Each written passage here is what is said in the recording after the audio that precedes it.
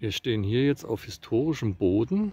Vor uns noch die letzten Überreste vom ehemaligen Berghof. Die Natur hat sich alles zurückgeholt. 52 wurde hier alles gesprengt. Lediglich diese Stützmauern sind noch übrig. Der Blick wie damals äh, von Adolf seinem Berghof äh, ist natürlich nicht mehr nachvollziehbar. Ansonsten ist hier alles renaturiert und wie gesagt aufgeschüttet und weg.